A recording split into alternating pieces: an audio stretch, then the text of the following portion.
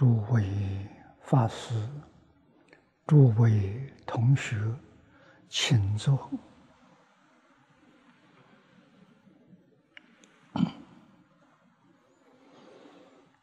请大家跟我一同皈依三宝。阿舍利成念，我弟子妙音，师从今日乃至命存。皈依佛陀，两足中尊；皈依大摩利欲中尊；皈依僧伽注众中尊。阿舍利成念，我弟子妙音，师从今日乃至明存。皈依佛陀，两足中尊；皈依大摩利欲中尊。皈依僧伽注众中尊，阿舍利成念，我弟子妙音，师从今日乃至命存，皈依佛陀两足中尊，皈依大摩利欲中尊，皈依僧伽注众中尊。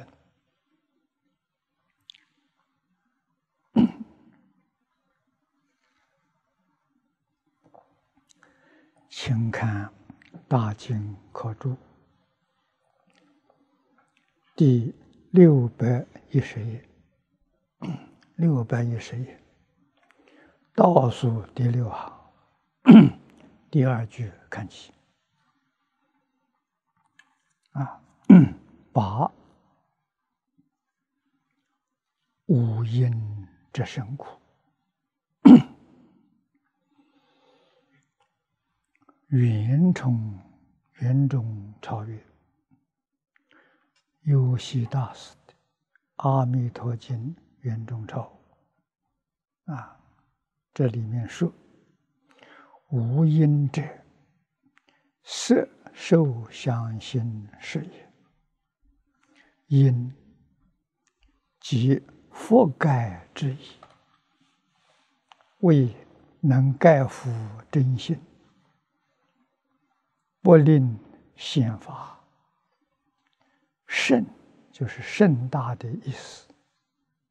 为前面生老病死等众苦聚集，故曰无因之生苦。八苦最后，前面七种。生老病死，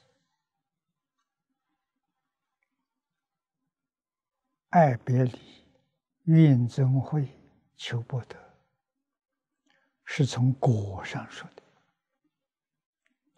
最后这一句，无因之生，是从因上说的。有因有果，如果没有无因之生，前面的。七种苦就没有，因为有五阴之身，才有七种苦报。那么，什么叫五阴之身？啊，五阴是指的色、受、想、行、识。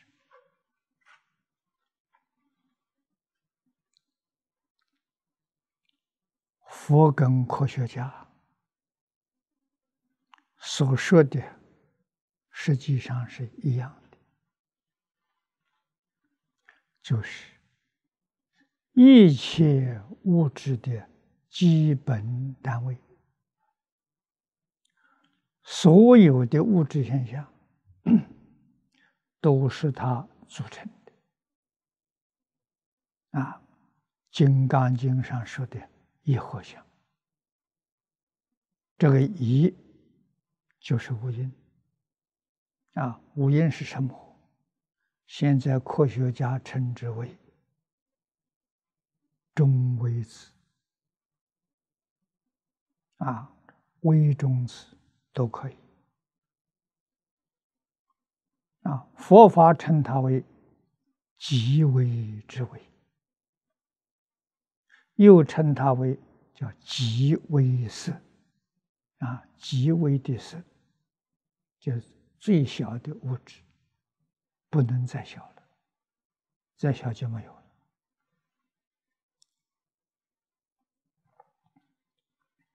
啊，那么这个极微色，就是色受想行识，色是物质，受想行识是念头。我们现在总算是搞明白了，其实佛讲的太多，我们听不懂，听了几十年，看到科学报告才恍然大悟。啊，佛早就说过了，色有心生，这物质从哪来的？念头来的。我们都没懂啊，谁有心生？心是什么？就是受想行识。没有受想行识，就没有物质现象。物质现象从受想行识来的。啊，佛在三千年前就说的这么清楚。啊，从这个理论基础。告诉我们一个事实真相，那就是相随心转，这也很难懂。啊。或者说境随心转，物质现象、外面的境界。啊，通通随着自己念头在转，念头善。外面现象就善，念头不善，外面心境界就不善。啊，境随心转，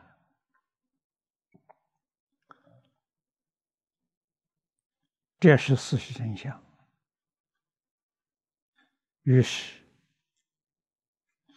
我们就晓得，啊，极乐世界的现象好。没有一样不好。啊！前面我们读了。西方极乐世界物质现象。十七种庄严。啊，正报的现象，老师阿弥陀佛。八种庄严。往生。到极乐世界的这些人，学生，皆是菩萨。他们有四种庄严啊，一正总共二十九种庄严，从哪里来的？境随心转，从念头来的。极乐世界的人。没有一个人有邪念，没有一个人有偏见，没有一个人有执着、有分别的，没有，啊，没有起心动念，所以这个世界美好到极处。啊，我们今天世界为什么变成这个样子？世界上的居民。心不善，行为不善，啊，所感得的这个社会的动乱、地球的灾变，啊，从这个果就知道因，啊，居住在地球上这些人，啊，他们的起心动念比不上古人。古人有灾难很少不严重。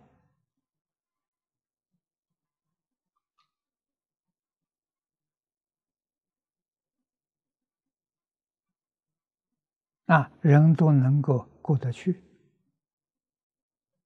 现在的灾难频繁非常严重。给人带来的是不安焦躁、烦恼啊，感得的医报跟正报。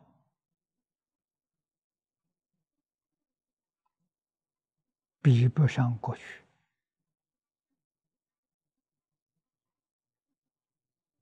啊！甚至于中国人讲三十年是一世，我们这一世跟三十年前人比，不如他们。那比再上去三十年、九十年前的，那更差远了。啊，再往上推，越往上推，越殊胜。这什么道理？啊，这是中国人祖宗积德，世世代代了，都感应圣贤出世。啊，有圣贤人教啊，大家肯学，能听话，信以为真，啊，真学真干，啊，感得善果。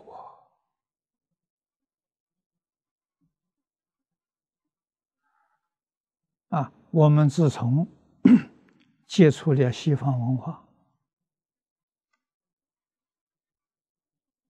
清朝末年，啊，外国的机器的发明，我们感到很稀奇。他们人很聪明，啊，我们中国人不如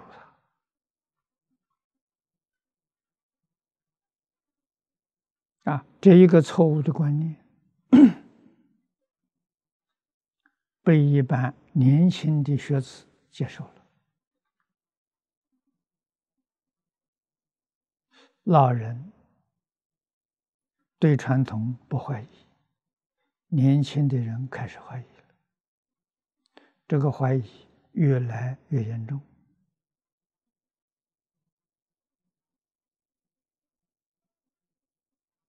啊，严重，所以引起五四运动，打倒孔家店，啊，推翻中国传统文化，啊，要向西方人学习，甚至提出全盘西化，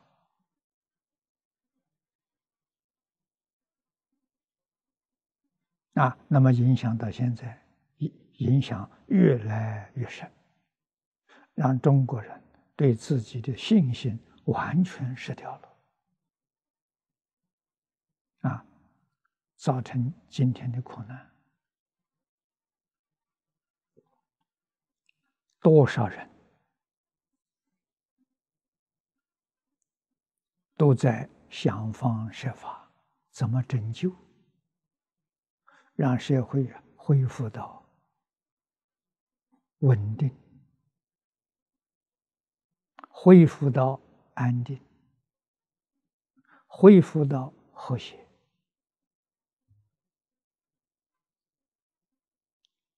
不但中国人在找，全世界人都在找，找了这么多年了，啊，最明显的，联合国带头。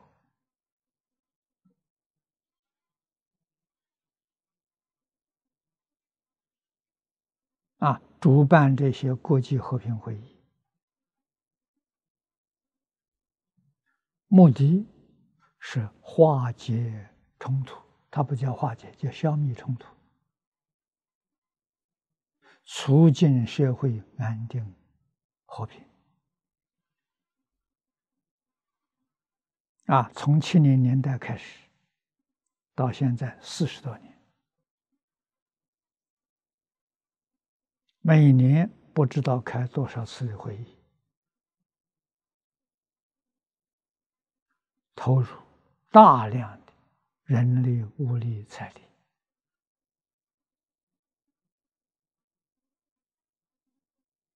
啊，我们有机缘参加了十几次，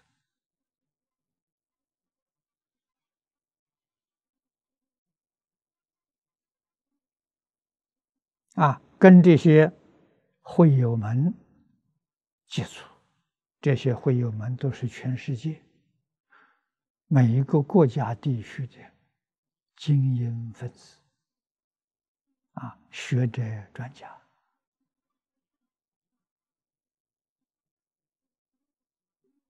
想不出办法了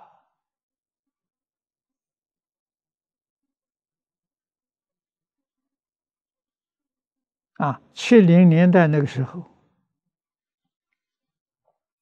汤恩比还在世，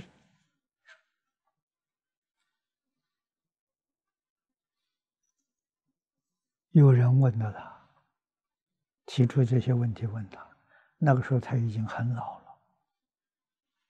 一九七一年，他八十二岁，啊，八十五岁过世的，也就是他八十六岁过世，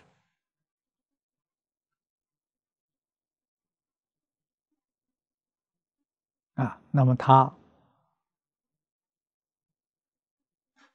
告诉我们一桩事情：解决二十一世纪的社会问题。只有中国孔孟学说跟大乘佛法。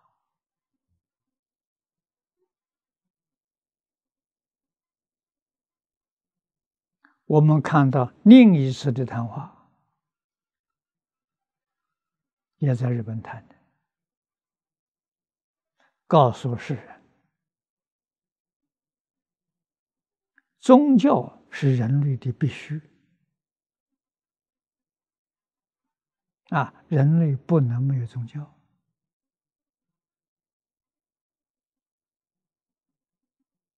啊，这些话对于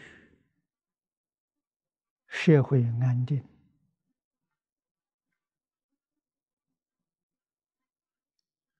世界和平。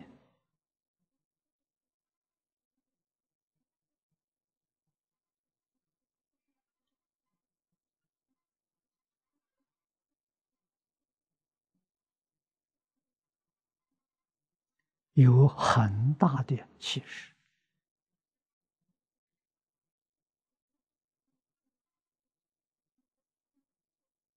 啊！有没有证明呢？今天的斯里兰卡就是证明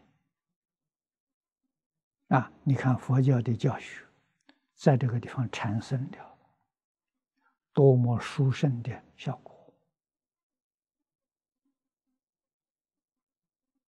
啊，斯里兰卡的人民并不富有，可是生活的非常快乐。这快乐从哪来的？从佛陀教育来的。啊，佛教人不争，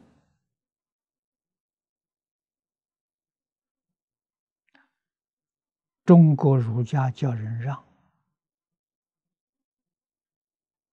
啊，父子五德，这是学生们对老师的赞叹。啊，老师的德行，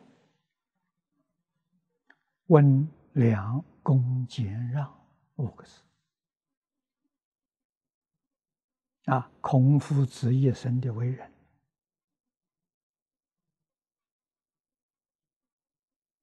处事待人温和，就像我们人讲厚道啊，温和、善良、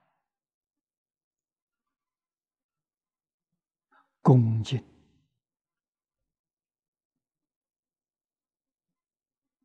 节俭、谦让，啊，总是自己谦虚让别人。夫子一生处事待人接物，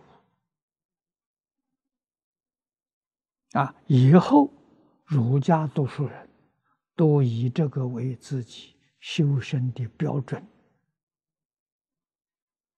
啊，我们在生活当中，在待人接物，有没有做到？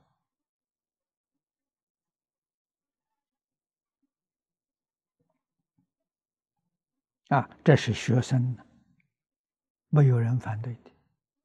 说父子无德，人人都点头。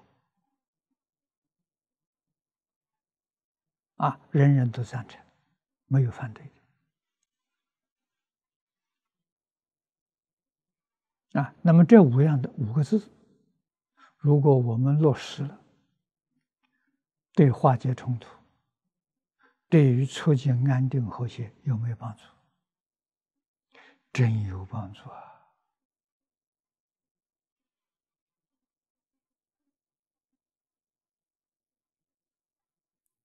孔子主张仁，仁爱啊。己所不欲，勿施于人。啊，人要知道爱人。那么爱人，最重要的是知道自爱。什么是自爱？温良恭俭让就是自爱。啊，自爱他才能爱人。啊。真心诚意帮助别人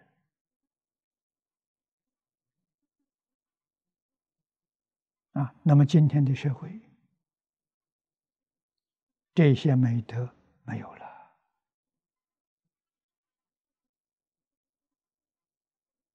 啊！你什么时候看到一个温良恭俭让的人？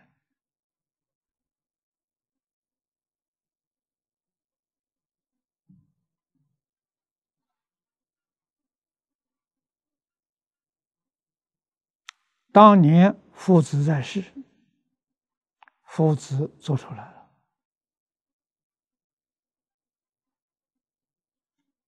大家见到他，听说他，跟他接触，真正看到了，啊，赞叹他，向他学习，造成社会风气，就是温良恭俭让的人很多。啊，带动社会良好的风气。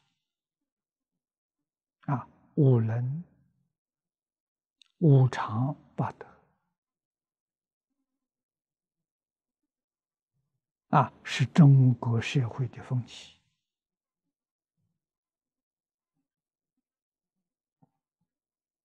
啊，这就是中国传统的文化。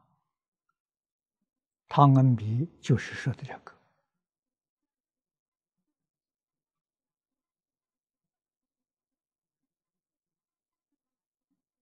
啊，不是说的四书五经十三经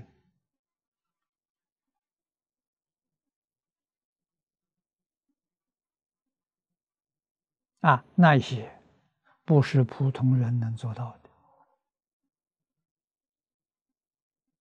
普通人能够做到五伦五常、四维八德跟夫子的五德，够。足够了，天下太平啊！大乘佛法里面，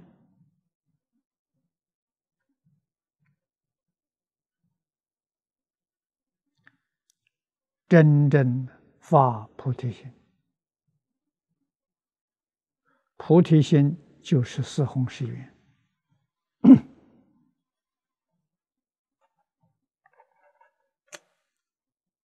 真正有。众生无边誓愿度，这一句话的意思，就是全心全意。为变法界、虚空界一切众生服务，就这个意思。这大菩提心呐，义务的，不求报酬啊。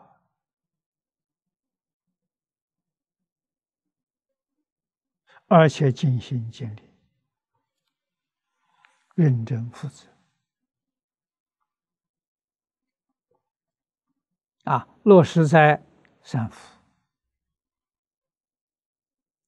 孝养父母、奉事师长、慈心不杀、修持善业。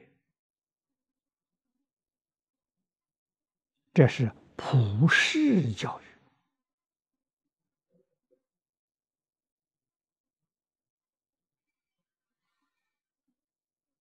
啊，社会上男女老少各行各业，通通要学习的。啊，社会祥和，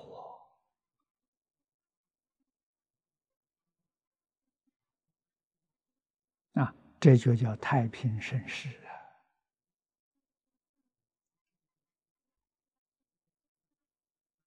啊！啊，佛教人。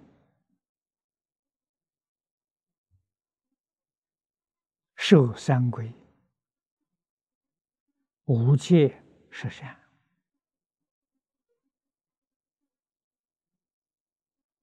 出家人要受沙弥、比丘戒，啊，菩萨戒，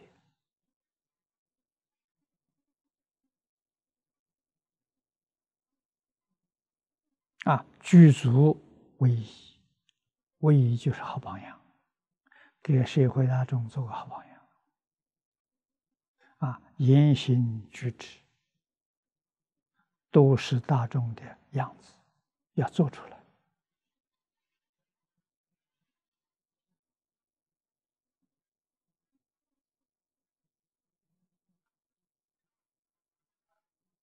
我们从中国历史上去观察，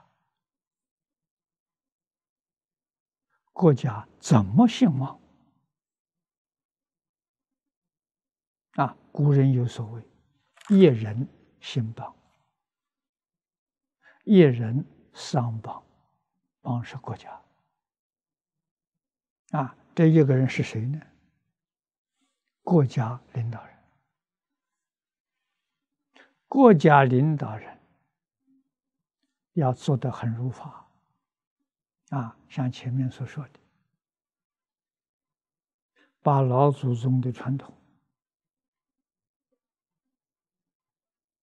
五伦五常四维八德，啊，夫子的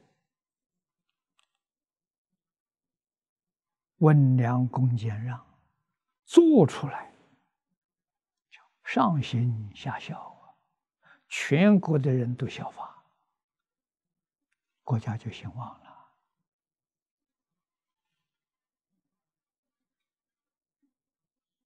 啊，如果不这样做法，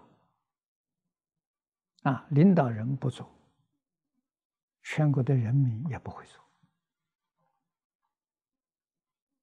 啊，领导人喜欢什么，人民就喜欢什么，他以他为榜样。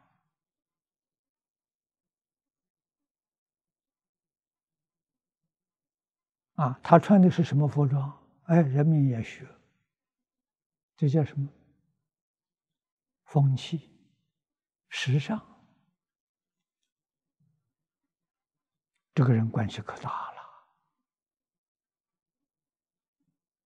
啊！在佛法里面，能够奉行三福、敬业三福啊，他能够孝父母，能够尊敬老师。啊，能够慈心不杀，就是仁义。这就是今天我们在此地访问参学斯里兰卡了。他们人民真做到了，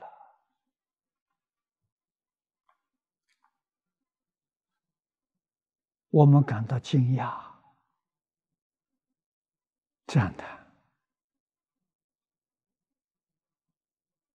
啊，我们学佛这么多年，感到惭愧，没能落实。啊，他们落实了，我们只是说说而已，他们真干了。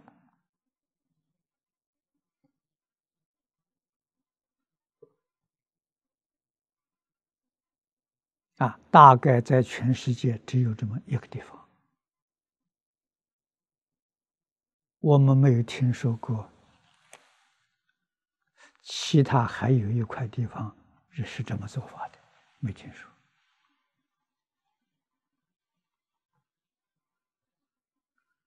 啊，也许有，我们孤陋寡闻，没听说，没见到。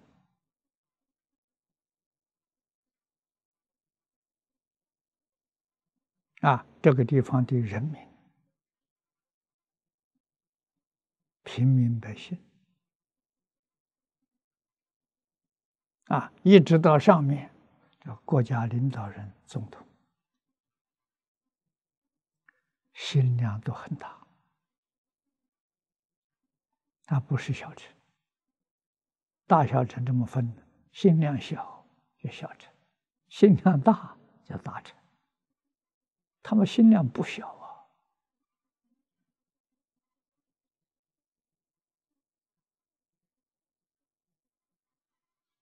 我看到此地的佛教欢喜，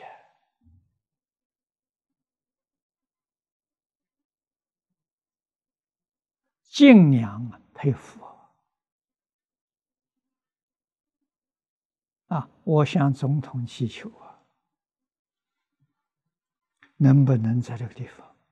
这点基础太好了，把释迦牟尼佛一生四十九年所传的各种不同宗派法门，都能在这个地方兴旺起来，啊，带动全世界。这没想到，总统一口就答应。啊，怎么落实呢？先办一所宗教大学，啊，这个办一所佛教大学，培养佛教各个宗派的人才，啊，然后啊，再建立一个宗教大学，团结全世界的宗教，啊，提倡世界宗教是一家。宗教团结，宗教互相学习，啊，提升自己的境界，为全世界创造和谐、和平，啊，帮助化解一切冲突。宗教回归到教育，好事情啊！啊，总统听了要欢喜啊，也赞成，都到斯里兰卡来做。啊，他速度之快，让我们叹为观止。啊，佛教大学，再过几天。就举行破土奠基动工了，真干了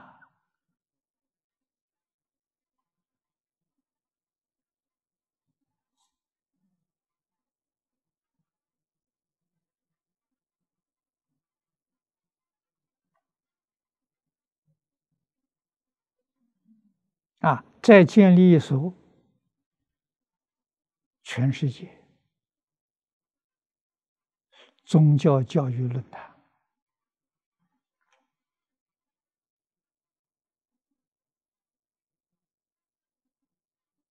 啊，这个论坛的目的，把不同的宗教变成一家人，我们共同一个目标，化解冲突，促进社会安定和平。怎么落实呢？建一个酒店落实。啊，阿弥陀佛大饭店。这个饭店就是个论坛，你看有吃有住，啊，哎，有大厅，有讲堂，有电视传播，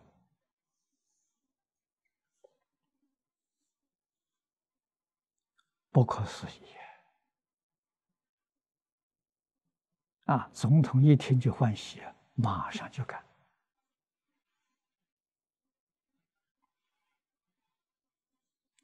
让我们看出。这个世界在黑暗当中啊，发现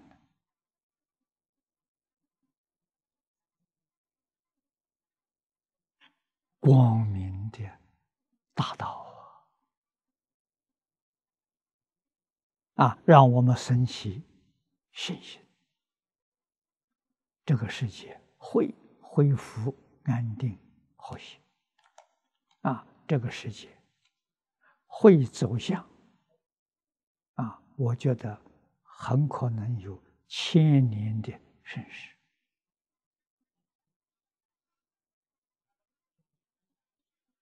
啊，会在这个世界出现。这个世界人民有福了。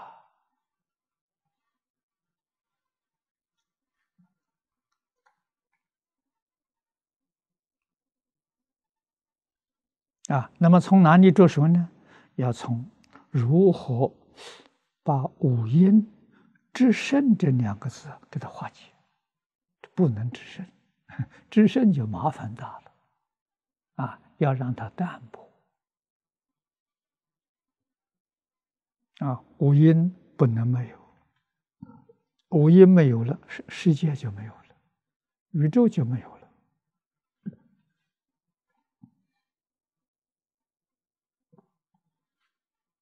啊，也是我们在此地学校里头前几天跟大家谈的，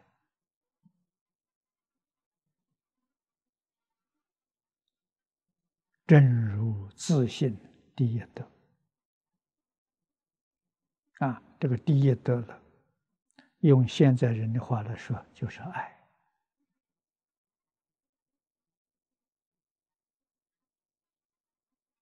啊，这个爱。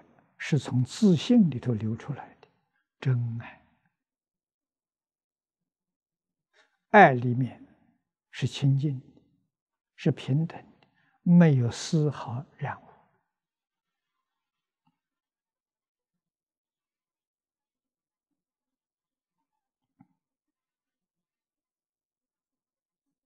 古时候有，现在也有。只要我们细心去观察，就明白了，就觉悟了。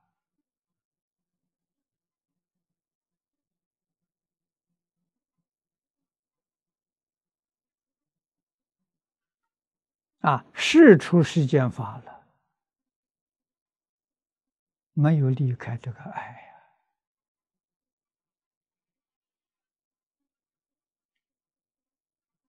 汉字里面，这个爱是受，受的当中加上一个心。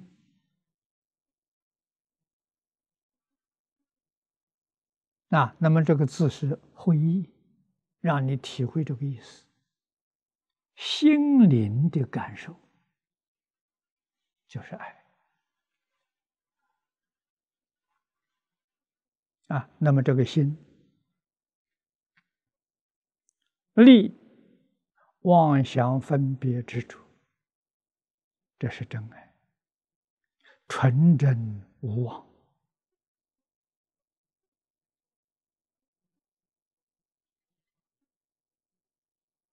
啊！这个是佛法里面讲大求彻底觉悟的啊，这个心是如如不动啊。慧能大师开悟的时候，说了五句话，就说的是这个心啊，就这爱的当中这个心，这是本性，真如本性。啊，第一句他说清净，何其自信，本自清净。啊，这个心是清净的，是平等的。啊，第二句话，这个心是不生不灭的，永远不会改变的，它没有变化。他没有生命，真心呐。第三个意思，本自具足，真心里头具足万德万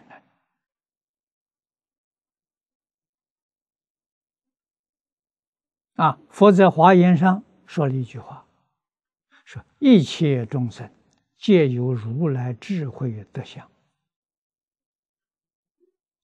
就是能大师第三句所说的“文字具足，具足无量智慧，无量德能，无量才艺，无量相好”。啊，虽具足，他并没有现前。啊，我们常常讲性空相有。啊，性是空，空寂的，虽空寂，它具有，它具足，一样都不缺。遇到缘，它就能现性，现什么现？现整个宇宙。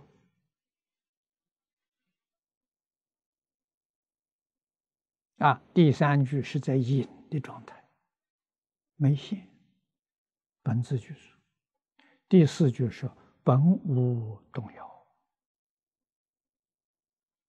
啊，真心不动的，啊，妄心是动的。我们起心动念，啊，想长想短，那是妄心，那是阿赖耶。千万要记住，不是真心。真心里头没有念头。有了念头，就不是人心，是妄心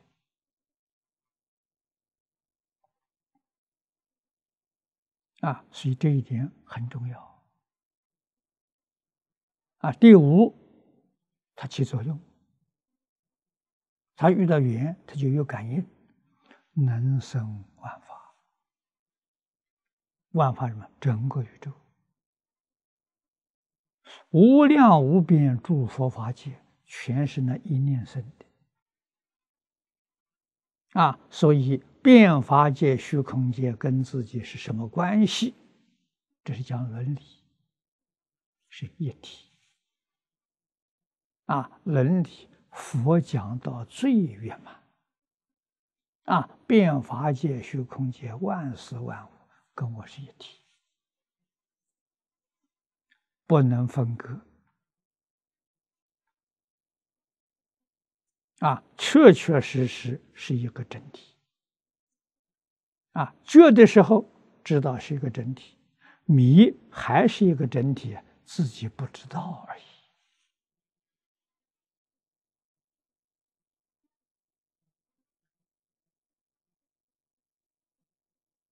啊，这一桩事情只有佛讲得清楚，讲得明白。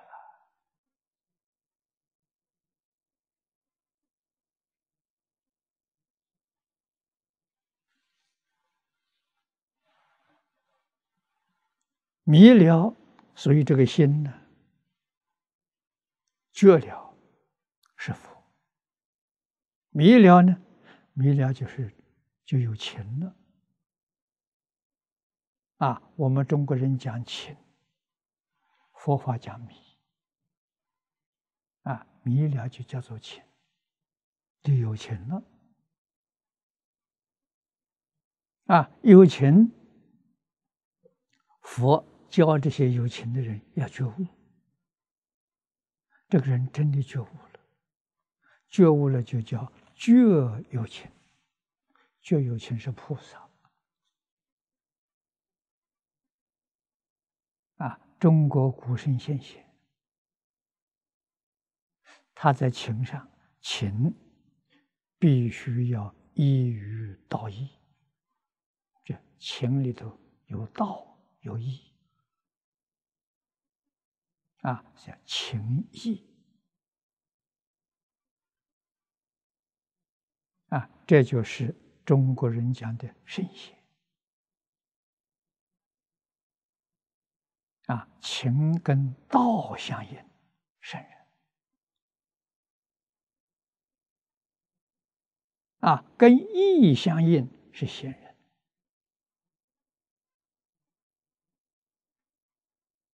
啊，义有手一为，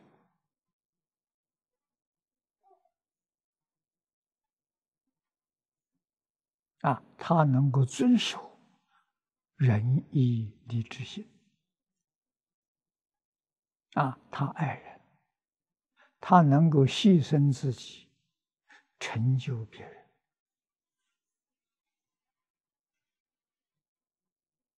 啊，这圣贤。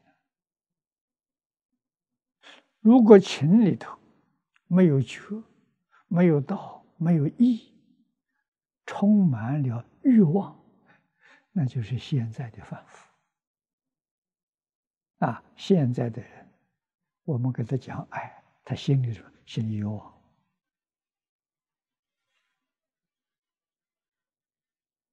啊，七情五欲啊，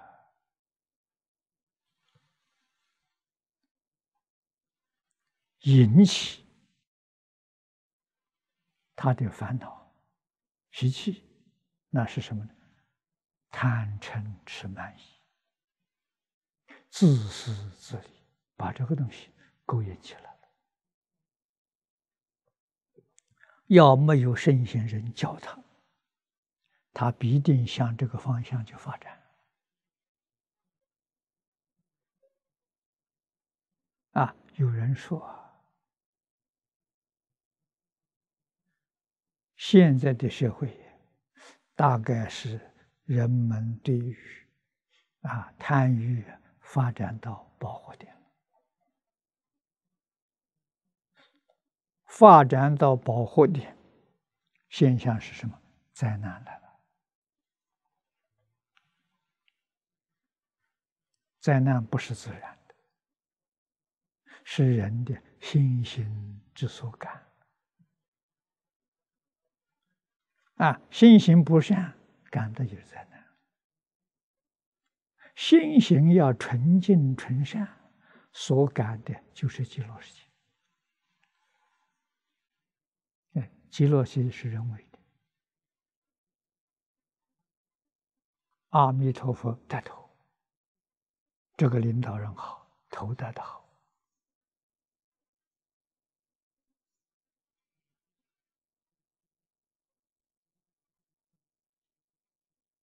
啊，那么我们今天这个世界，各个行业带头的一个目标向前看，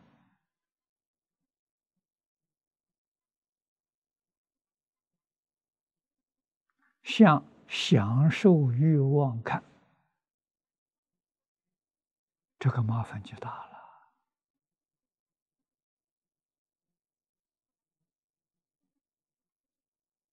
啊，从这个地方让我们深深体会到，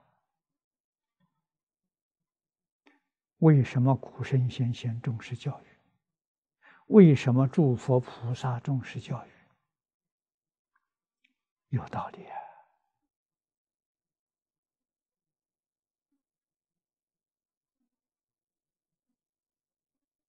所有一切事情都离不开教育。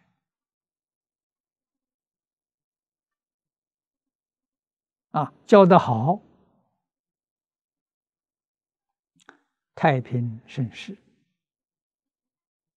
天堂佛国教的好的，教的不好的，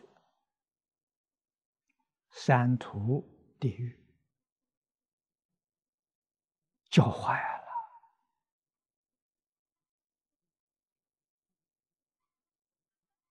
我们现在全都看见了啊！所以大圣大贤、诸佛菩萨，怎样去制造一个太平盛世，制造一个极乐世界，全是教训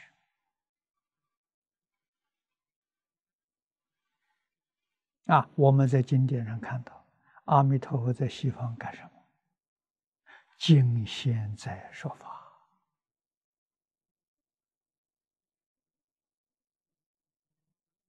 那细细在观察，每一尊佛、每一尊菩萨都是经现在说法，这明白了啊！只要经现在说法不停止，再不善的人，常年熏修，他自然就变善。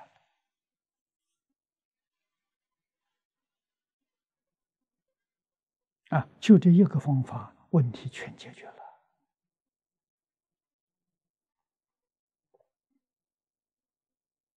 啊，从这个一点，我们就看到中国古圣先贤的智慧。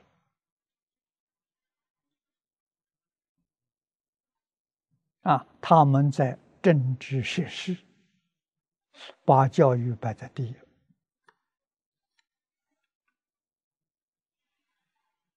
他内行啊，他真懂啊！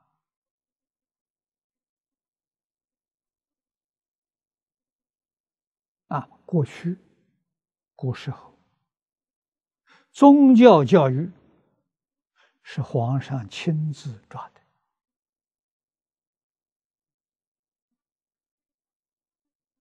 啊，社会教育宰相管。啊，宗教教育是皇上管的，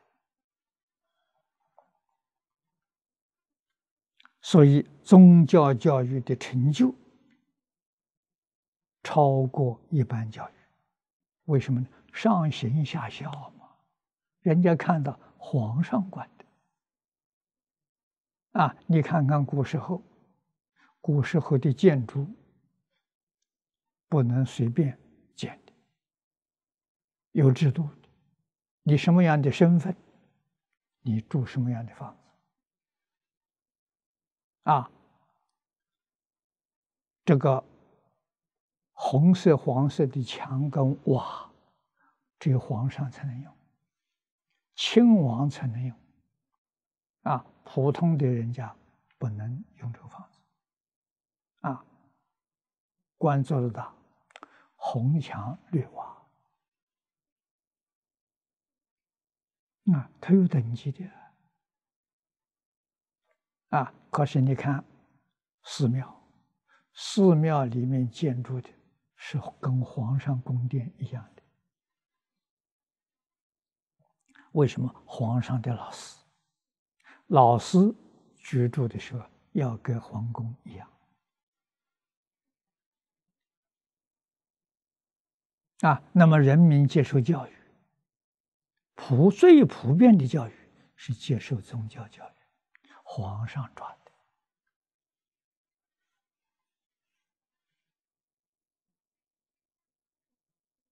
啊，宰相底下第一个部就是教育部。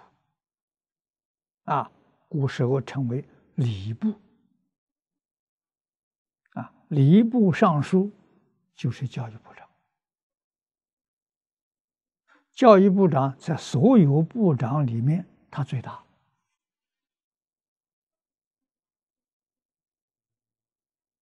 啊，他排位置排第一个啊。宰相有事，不能失事，由教育部长代理啊，礼部尚书代理。这都是显示出尊重教育，教育第一。啊，只要把教育办好了，什么问题都没有了。啊，极乐世界为什么极乐？极乐世界没有听说有行政组织。啊，世尊多次为我们宣讲介绍，没有说明极乐世界的天主是谁。啊，天王是谁？没说过。没有天主，没有天王，没有玉皇大帝，也没有文武百官。再细细的看，连士农工商。佛都没提，这是个什么事情？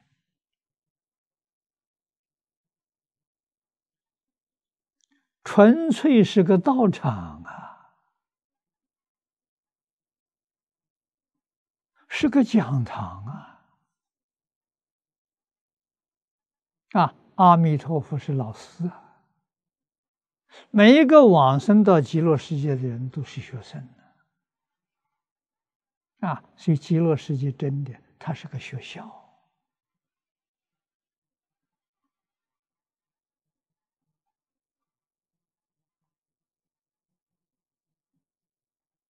这个校园无穷大啊，学生无量无边，无尽无数。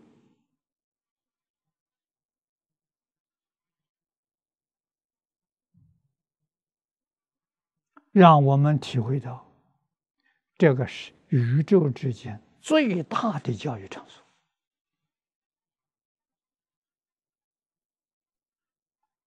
一切众生到这个地方来成佛，啊，究竟圆满教育，啊，他在这里成就了，成就就称之为佛陀。啊，佛陀比我们地球上人口多啊！我们在七十亿人呢，这地球是小星球啊，太小了啊！所以在极乐世界成佛的，跟没有成佛的阿惟越之菩萨，人数无量无边。我们往生到极乐世界去求学的，啊，到那边去留学，毕业了就成佛了，啊，毕业之后干什么？你知不知道？毕业之后就是今现在说法。啊，无论你在什么地方，你一定跟大家说法。啊，他们有别的工作，他就说法。啊，为什么？只有说法能帮助人转恶为善，劝导他。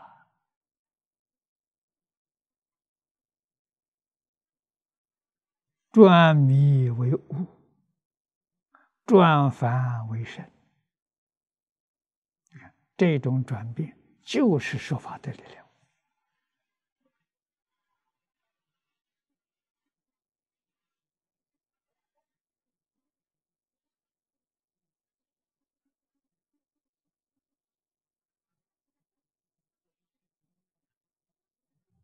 啊！最特别的、最殊胜的。是我们看到前朝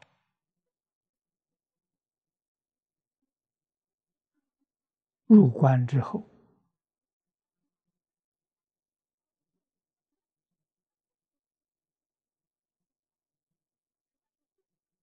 啊，最早这些帝王，顺治入关，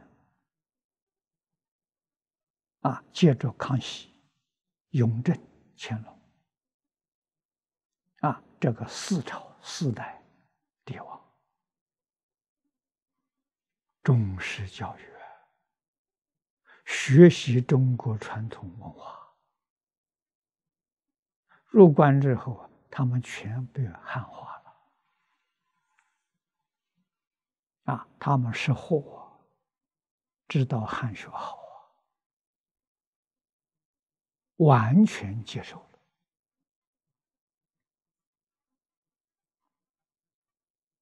啊，还做了工作，把汉学、把佛法翻成满洲语文。他们的时候没有文字，创造文字，创造满洲文。啊，先是有蒙古，啊，以后他们从蒙古文的基础上创满洲文。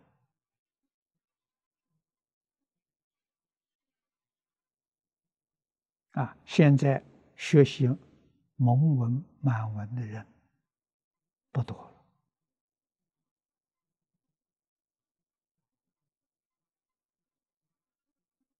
啊，我们要鼓励，有这个兴趣的话，这是文化工作，是好事情。啊，应当把各种不同的文化通通集成下来，融会贯通，发扬光大。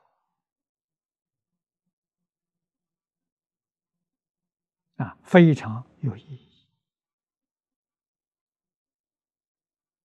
啊，我们不能够疏忽。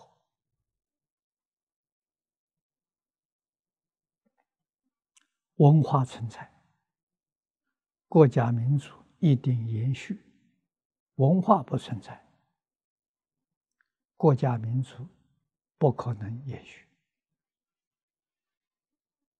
啊，会在历史上灭亡。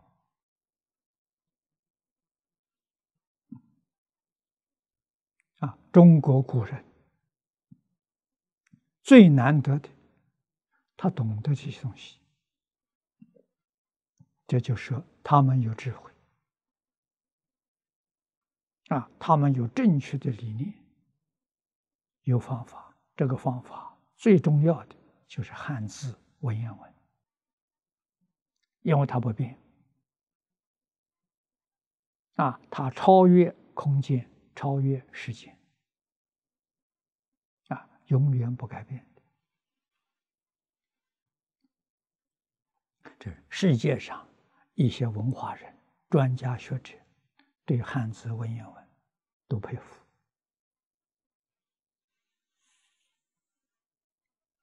啊，如果要保存，永远保存下去，最好用文言文写。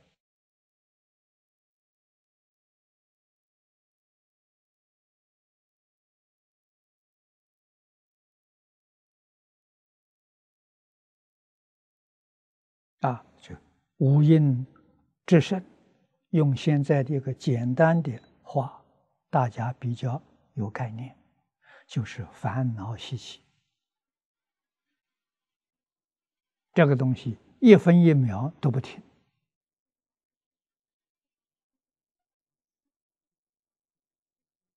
啊，就是妄想、分别、执着这些东西，自私自利，这这个这些错误的观念。啊，五阴之身就说这个，所以感得前面七种烦恼都由他生的。啊，照见五蕴皆空，前面七种烦恼都没有了。啊，生老病死、爱别离、求不得、怨憎会全没有了。啊，观世音菩萨。啊，知道五蕴是假的，不是真的。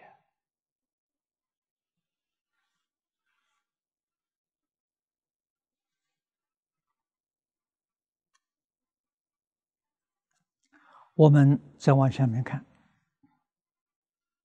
此土指我们娑婆世界，八苦交煎呢。八种苦啊交互啊，在煎熬啊，我们在承受啊，彼土永离诸苦啊。那看西方极乐世界，这八种苦都没有。往生到极乐世界，你就是永离八苦了啊，八苦三苦都永离了。苏超越，莲池大师讲的。别过莲花化身，没有生苦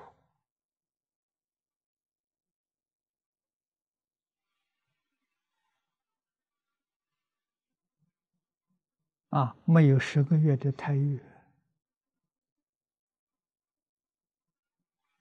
啊，寒暑不侵，没有寒暑的变化。我们这个世间有春夏秋冬四季，极乐世界没有。啊，是什么天气呢？永远春天。啊，四季长春，没有变化，所以它不老。有四季就有老，春生、夏长、秋收、冬藏。它有变化，极乐世界没有变化，啊，所以没有劳苦。生离分段，这个分段就是讲分段生死，一个段落一个段落。啊，我们这一生到这个世间来是生，过了几十年了死了，这是一段。啊，死了之后又投胎，这又是一段，这叫分段。啊，极乐世界没有分段，极乐世界的人无量寿。啊，真无量不是假无量。啊，没有成佛之前是有量的无量，不是真无量。但是在极乐世界，决定成佛，没有一个不成佛的。成佛之后是真无量，为什么？真的发生了。啊，也就是说，极乐世界的同居土、方便土是有量的，有量的无量；十报土、长极光土是真正无量。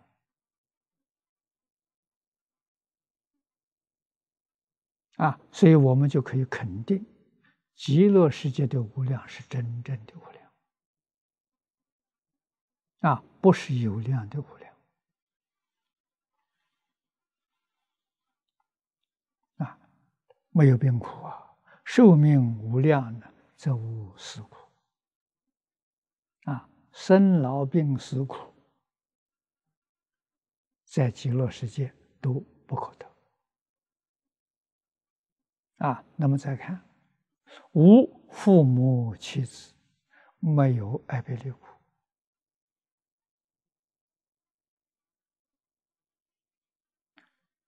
诸上善人同会一处，没有冤憎会苦，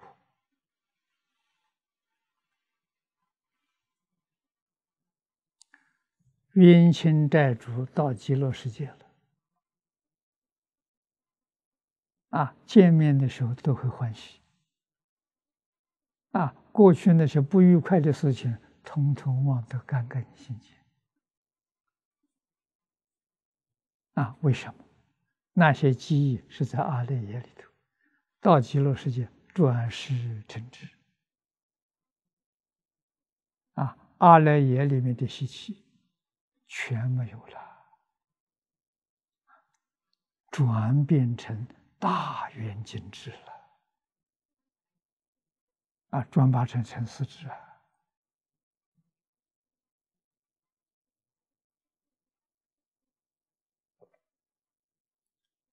这一句是最重要的。一切世间是阿赖耶变现，阿赖耶转了，一切时间不见了。啊，一切时间是什么？就是设法界，设法界没有了，是一场梦啊，从梦里头醒过来了。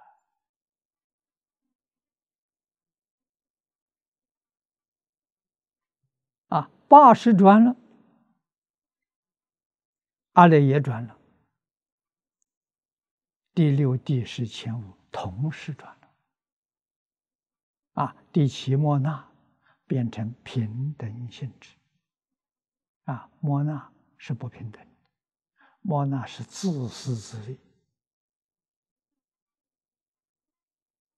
啊，所以莫那有四大烦恼，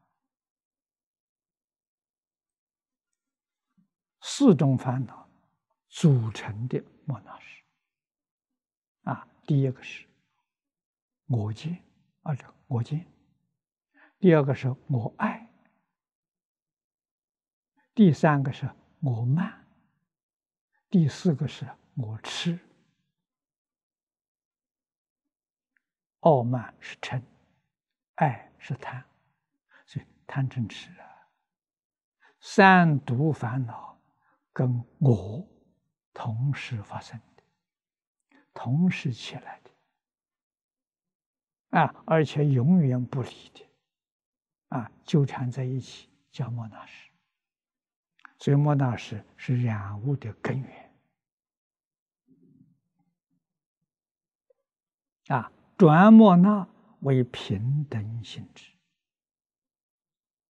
真平等了。啊，转第六意识。为妙观察之啊，第六意识起的作用，没有阿赖耶，没有第七识的干涉，他生智慧，他不生烦恼啊。阿赖耶的种子干扰他，莫那时。渗透它，它就造业了，它就变质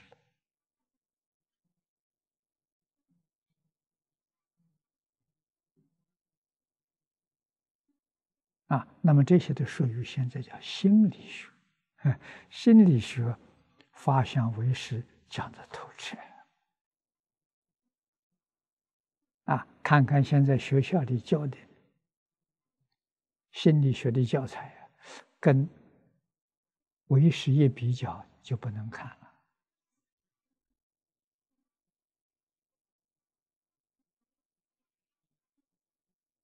啊，讲的特清楚，讲的明白，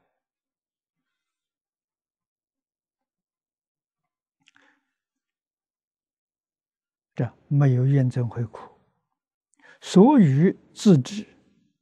则无求不得苦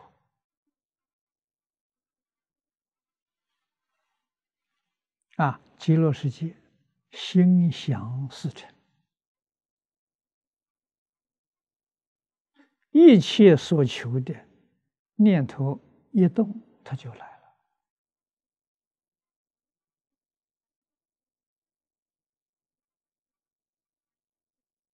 所以没有求不得苦。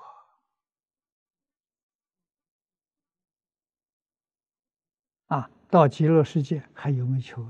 没有求的了。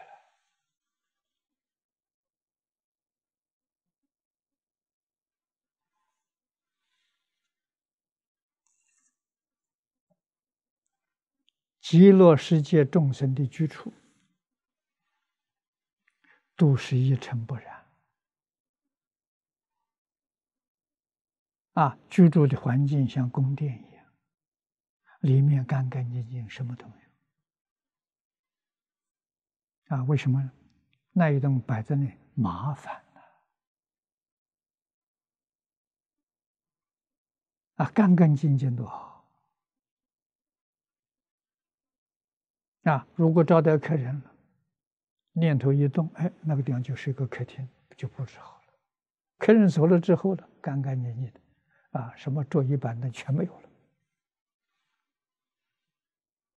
啊，你说这多自在，啊，想什么什么就现起，随心所欲啊，心想事成啊，啊，所以他能够什么都不想，什么都不要。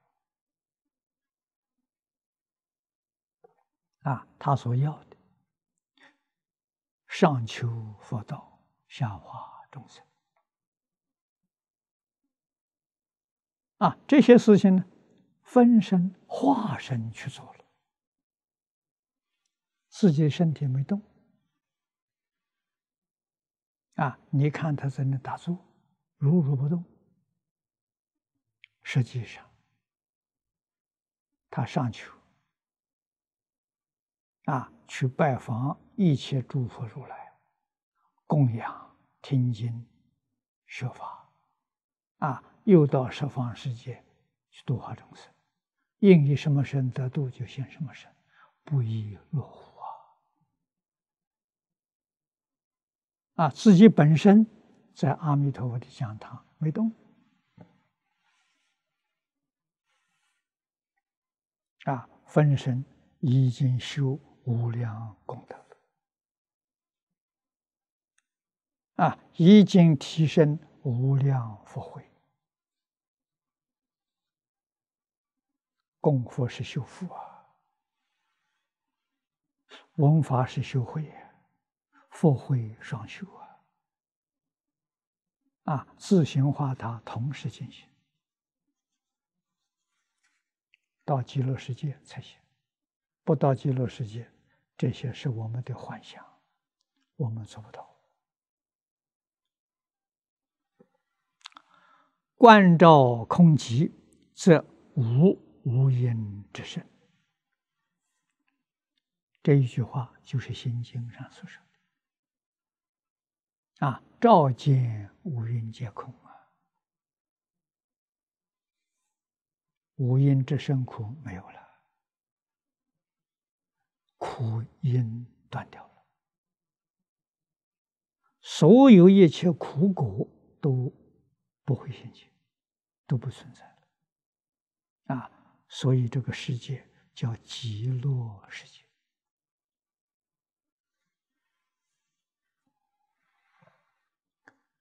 上面这一段把苦简单介绍出来了，下面就难。啊，诸难、佛陀、灾难呢无量无边，将无量无边的灾难归纳为八类。啊，不出这八大类，叫八难。啊，真正的难是什么呢？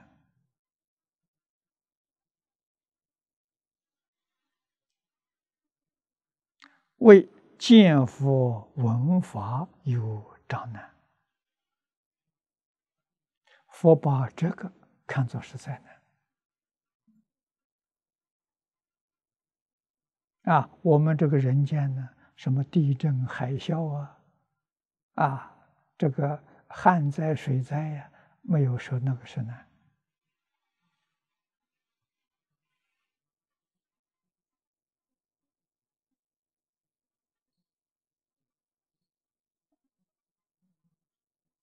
那是不善业习所感，而不是重要。重要是什么？重要是佛陀教育。你能够接受佛陀教育，断恶修善，那在那全没有了。所以，要是见不到佛，不能闻法，这就是大灾难。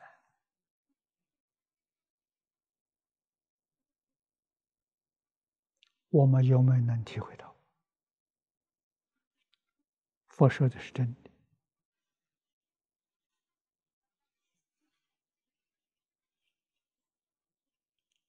啊？那么佛这里讲的八难，完全从这里说的。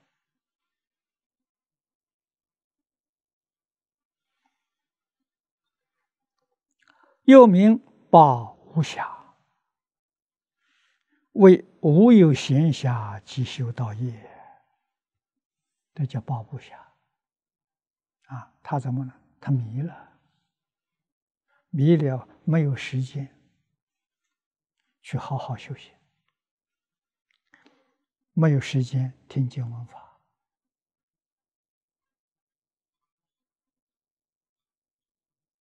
啊！但是在净土法门，如果真的没有时间听经闻法，你就念一句佛号。啊，地贤法师那个徒弟锅炉匠，就是个例子。他不认识字，没念过书，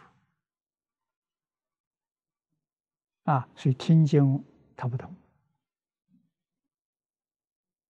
啊，地仙老和尚也不给他讲经，也不叫他去啊诵经闻法，只叫他念一句阿弥陀佛。啊，他一生得法就得这六个字：南无阿弥陀佛。老和尚教他，你一直念下去，念累了就休息。休息好了，接着念，不分昼夜。啊，这个人的长处就是老实、听话、真干。啊，他就真念，念了三年，成就了。啊，欲知时知，自在往生，站着走。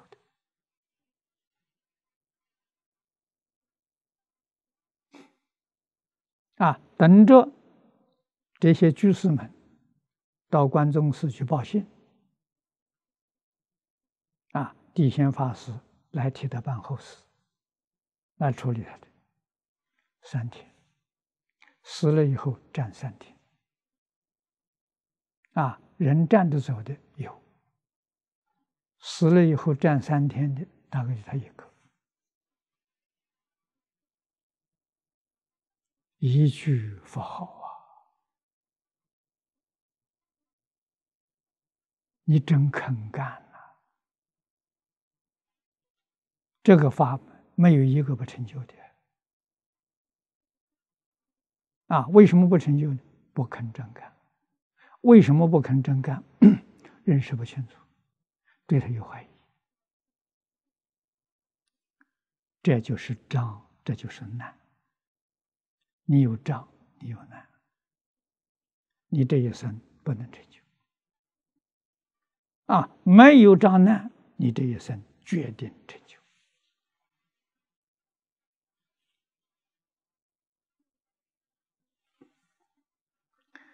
那么八难，云中朝里头，这是揭露元中朝里所说的。第一个是地狱难。啊，你堕地狱了！地狱之中啊，长夜冥冥啊，受苦无间，障于见佛闻法，是故名难。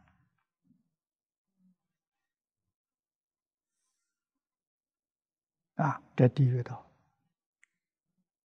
八难里头最严重的，就这个地方。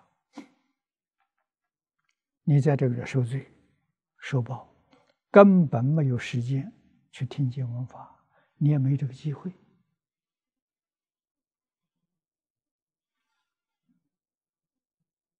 啊，第二种呢，畜生难，畜生道中受苦无穷，也是障于见佛闻法，这也是难。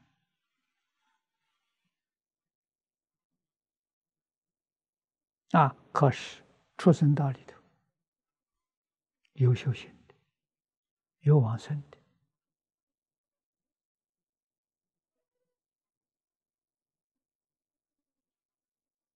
啊，经中的古大德编过一部书，叫“我有如此”。这一本书里面专门记载畜生往生啊，用它来勉励我们大家。你看，畜生都知道修行，都知道求往生。啊，人要不发心，连畜生都不如。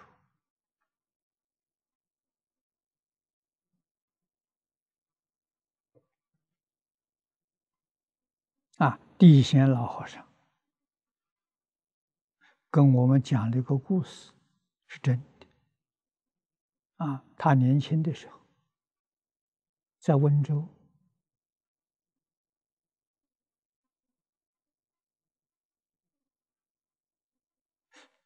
这个寺我记不得了。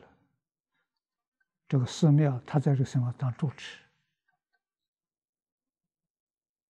啊，是个小庙，住众不多。那个年代，生活很清苦，寺庙里连一个钟都没有，啊，作息时间全凭养的一只老公鸡。啊，早晨鸡叫了，大家起床。啊，作息时间呢？一听公鸡。啊，那么这公鸡有灵性。大众做早课，他跟在最后。啊，一定早课完了之后，他才离开。啊，都养成这个习惯。啊，所以早晚上殿呢。攻击参加啊，这个公鸡可能过去是这个地方的和尚，堕得出生道了啊，灵性还没有灭，知道自己那忏悔呀，再跟着修啊。但有一天早课完毕。大家都散了，这公鸡不走，还在那里绕佛。他一个在绕，别人都走了。香灯师告诉他：“散了，你快走了，你还在这搞什么？”啊！看到这个公鸡走到这个佛的面前，他站在最当中，面对着佛前，叫了三声，他死了，站在那里死。啊，地仙老和尚按照寺庙出家人的这个礼节了，把他埋葬了。啊，这是他们庙里的老公鸡往生。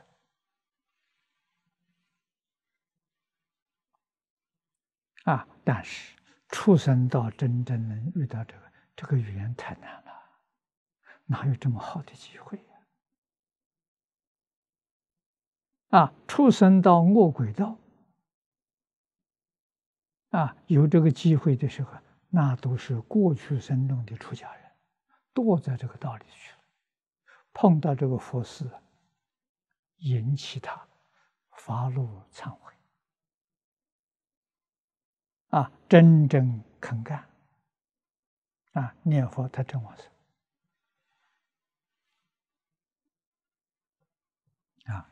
地狱道，那就太难了。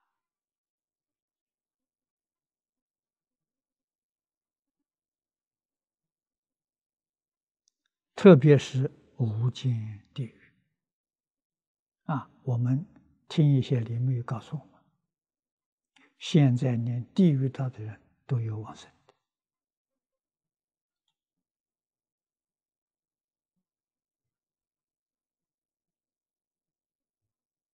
啊，阿弥陀佛的第十八愿，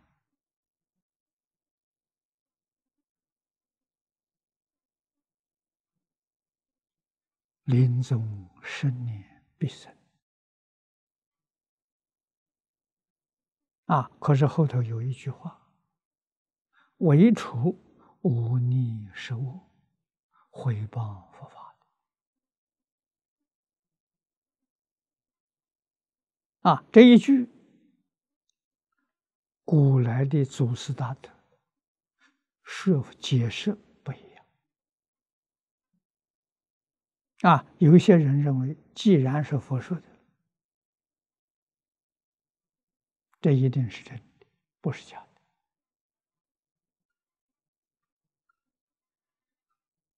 的啊。那就是劝我们，决定不能造无逆十恶罪。啊，这个念佛也不能忘事。啊，但是有一些祖师大德认为，佛说这个话，他的用意是这种罪太重了，劝人不要犯，不要犯这个罪。用意在此地，真的要做了呢？啊，要犯了这个无逆失误，回谤佛法的，真正忏悔，自己认错，后不再造，幸愿持名，还是得胜。啊，阿弥陀佛，还是受接受。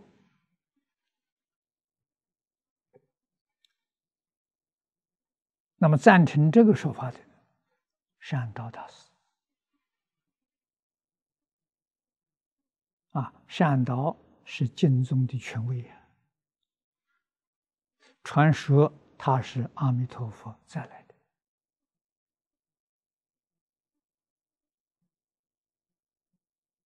啊，日本净土宗开山的祖师法然上人，善道的学生。啊，唐朝时候，他来中国留学，跟善导学的经宗。啊，以后回到日本，就把日本的净土宗学起来了。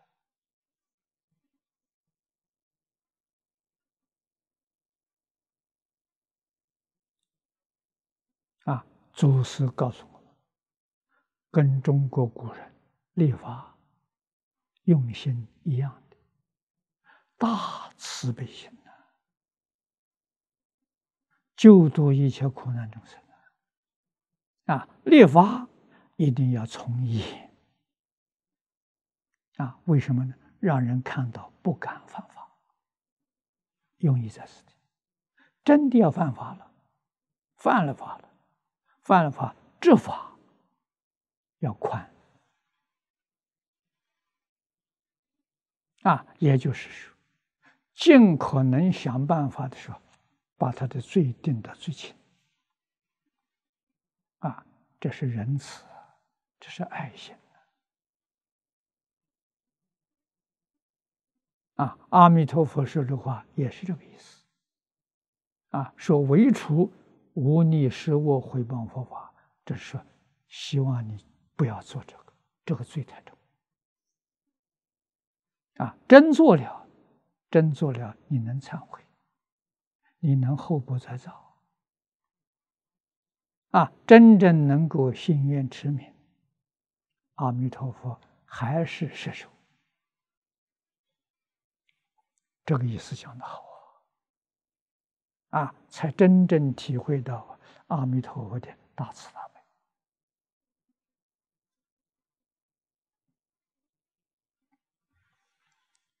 那么就是三恶道当中，当然他很不容易啊，他回头也难啊。只要他回头遇到佛法了，他还是能得度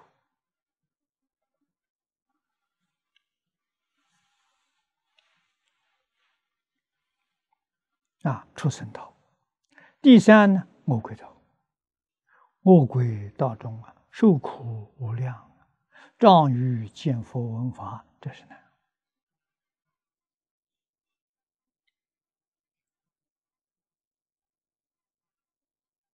啊。那么都在恶鬼道，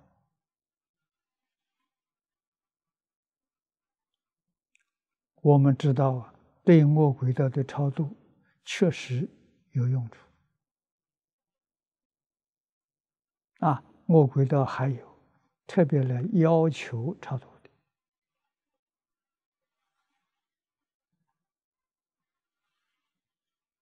啊，但是三恶道往生极乐世界少，真的是少数。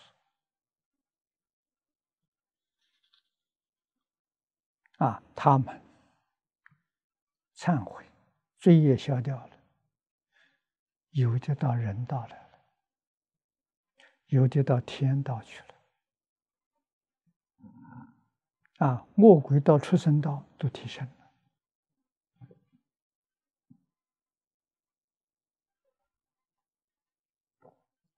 这个多，啊，往生呢是少数。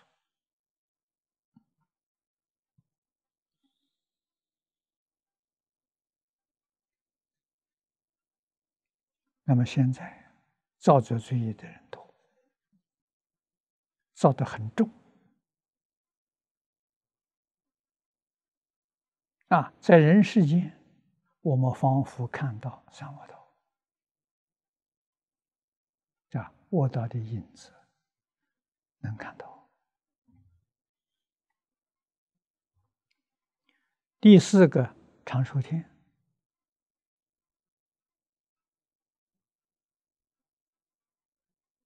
为此天以五百界为寿，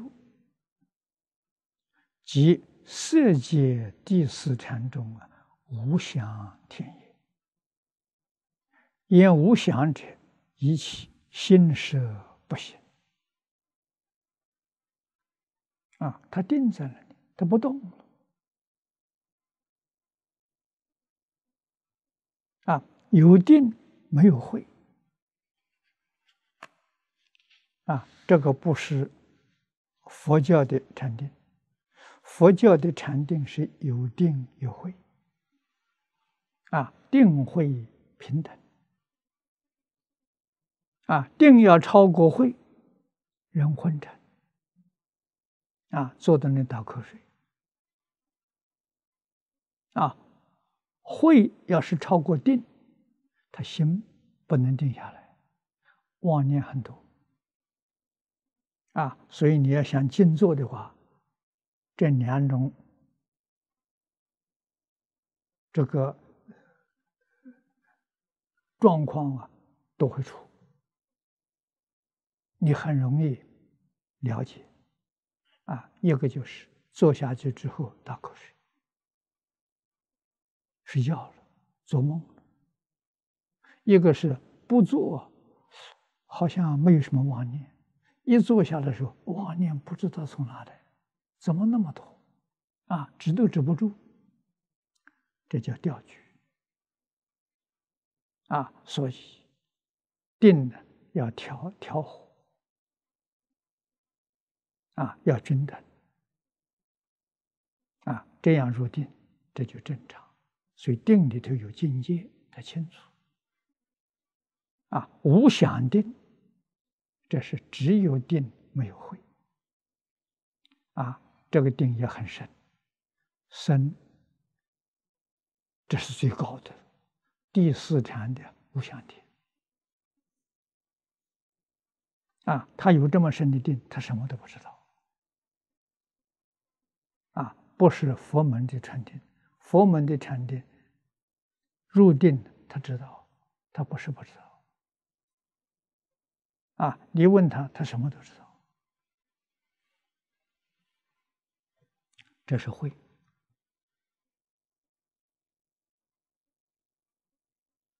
我们在《地藏经》上看到，啊，婆罗门女母亲过世了，她遇到一个阿罗汉，啊，供养他，问阿罗汉。他母亲过世，在世的时候造作恶业，现在不知道躲在什么地方。阿罗汉入定，帮他去看。出定之后，告诉他：“你母亲躲在地狱，受很大的苦。”啊，婆罗门女听了之后很难过，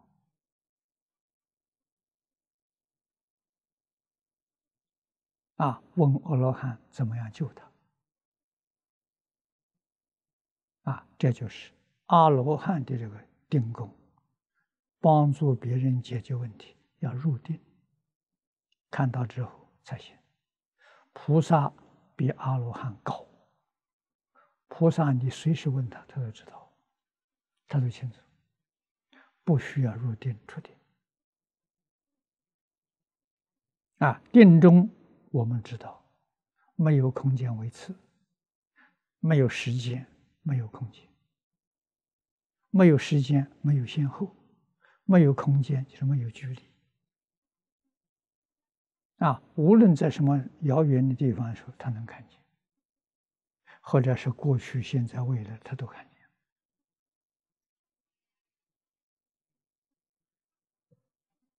啊，定中有境界。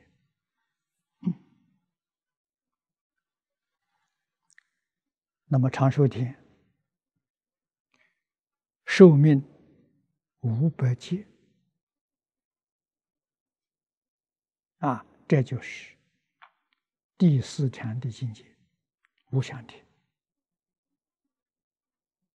啊，心舍不行的，如冰雨这种外道修行呢，多生其处。障于见佛闻法，是故为难。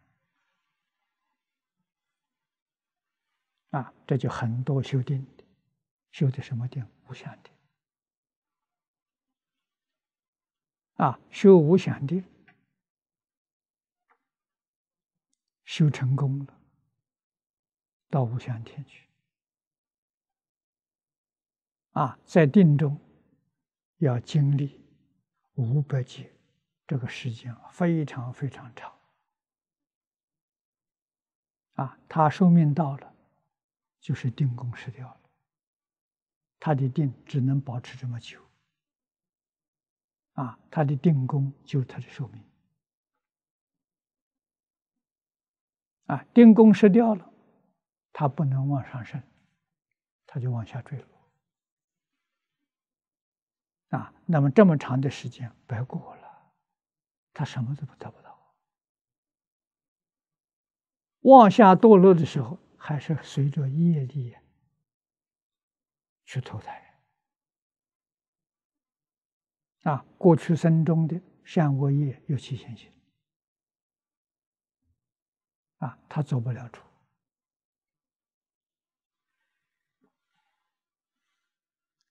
许许多多修定、修无想定，我们要知道，这个不是正法。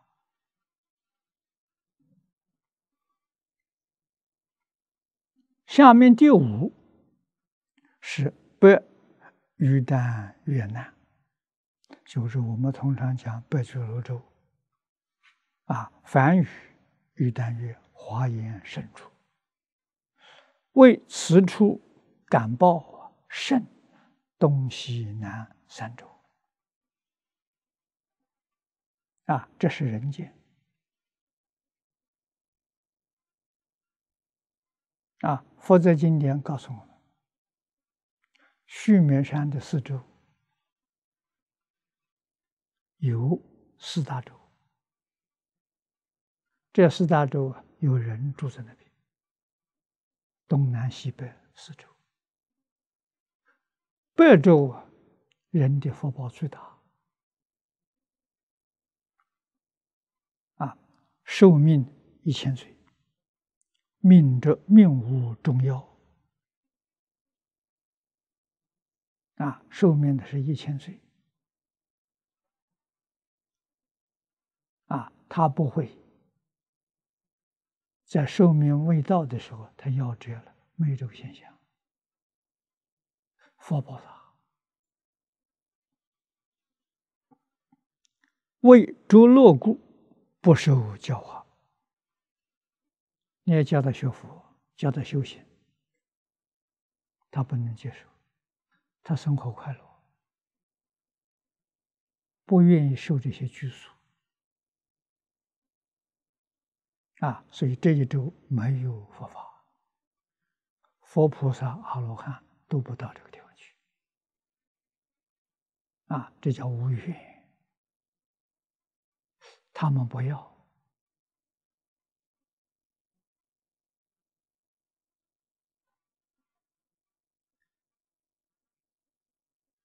啊，中国寺庙护法神委托殿上面的匾额写的“三周感应”，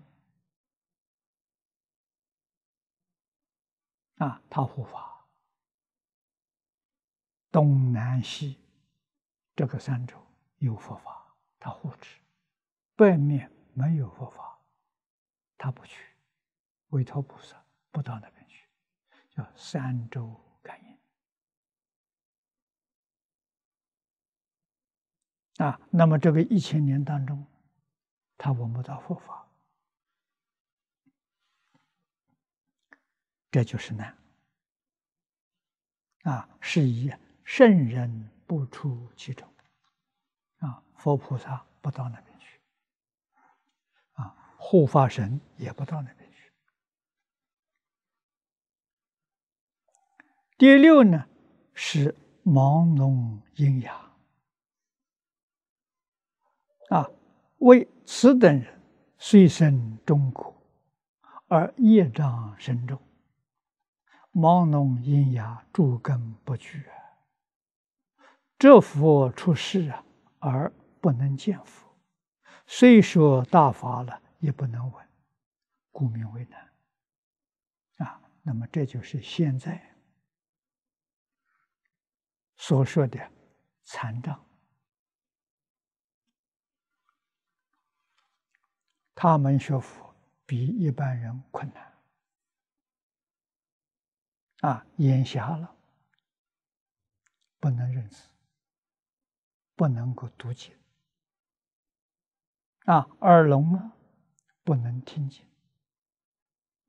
阴哑，他有问题，他不能问啊，这个都是障碍。都是难处。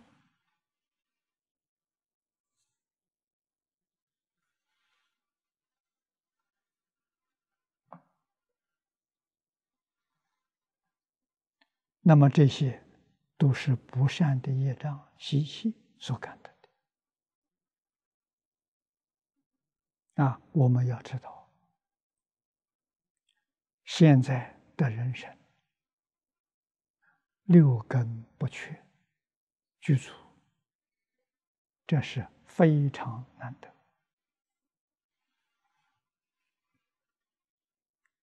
啊！学习佛法了没障碍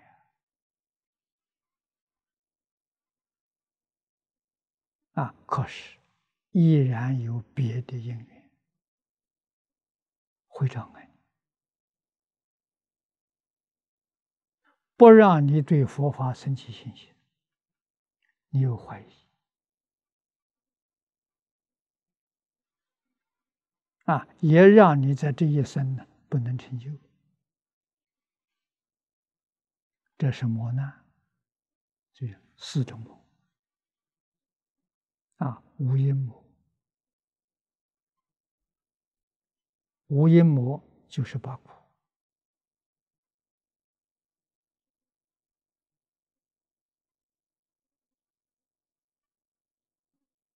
啊，死魔，寿命短，没有学成，寿命到了，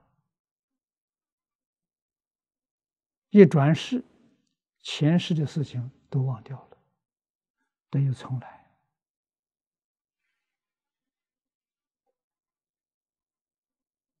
啊，这个是死魔，烦恼魔，妄念多，杂念多。啊，让你心静不下来，这障碍。最后一个天魔，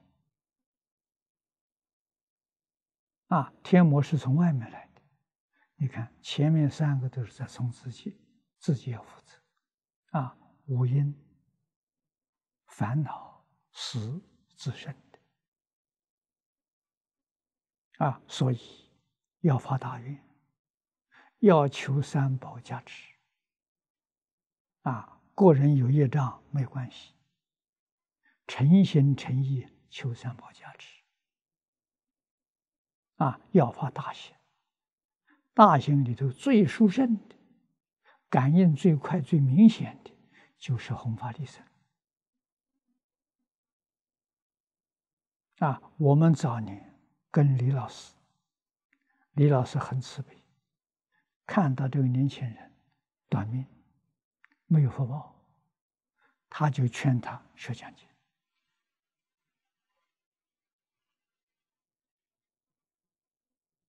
啊，老师告诉我，为什么劝他学讲经？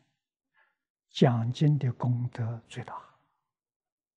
讲经能够延年益寿，啊，真正发心讲经，啊，寿命自然延长。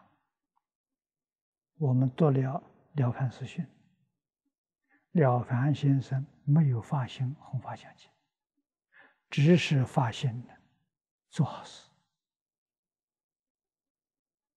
啊，念念把苦难众生呢放在心上。他都延寿二十一年啊！他的算命先生算的寿命五十三岁，他七十四岁走的啊！这个是延寿最快速、最有效的方法啊！那我们是不是为延长寿命修佛呢？不是我们真的是为了生死出三界，为这个来学佛啊！寿命延长，我们就晓得，那是佛给我们的使命，我们要把它完成。这个使命就是讲经教学啊，而且是讲经为主，教学是附带的。啊，中国历代培养讲经弘法的人才，不是佛学院，古时候没有佛学。啊，从哪里培养呢？从佛小座。啊，就是听众当中，年轻人，啊，有记忆力好，理解力好，品德好，这是三个条件。啊，有这三个条件的人。把它选出来，啊，听经的时候坐在第一排，啊，听完之后叫他复讲，是用这个方法把讲经的法师培养出来，啊，复讲必须要遵守，完全是老师讲的话，你重复讲一遍，不准加。啊，不可以加自己意思，也不可以加别人意思，就是老师的，叫忠于老师。啊，忘掉的没关系，啊，你不能再加。这个是里面呢功德很多，训练你的谦虚，训练你的。这个降服你的傲慢啊，有很多品德方面都用这个东西，不让你发挥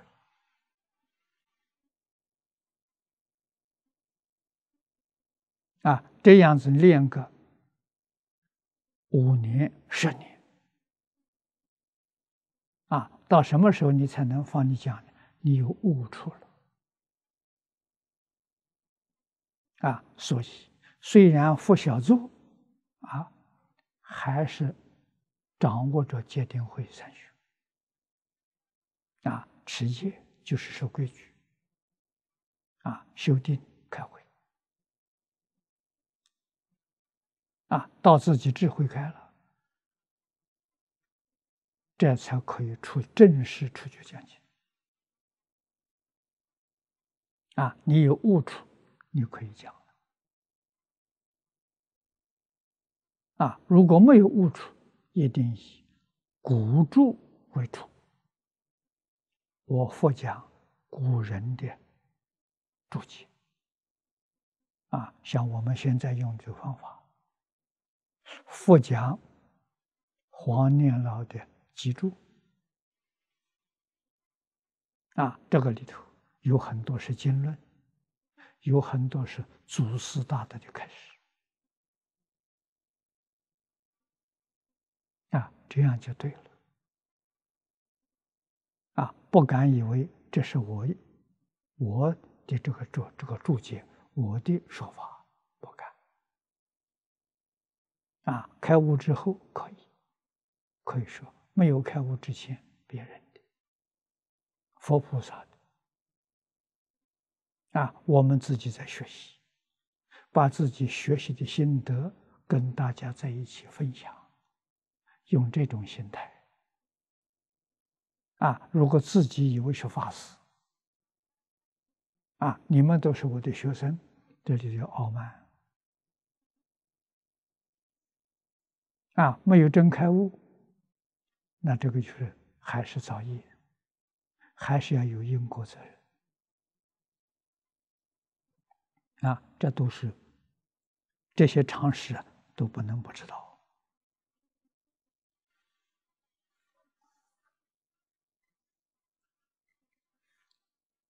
啊，那么这些地方虽然讲虽生中国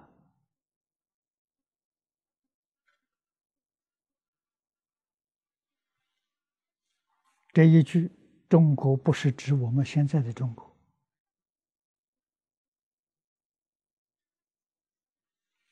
是指有佛法的地区，叫中国。啊，佛法教我们中道。啊，中国可以解释为，这第一个，它一定有佛法；第二个是文化很发达的地区。啊，是这个意思。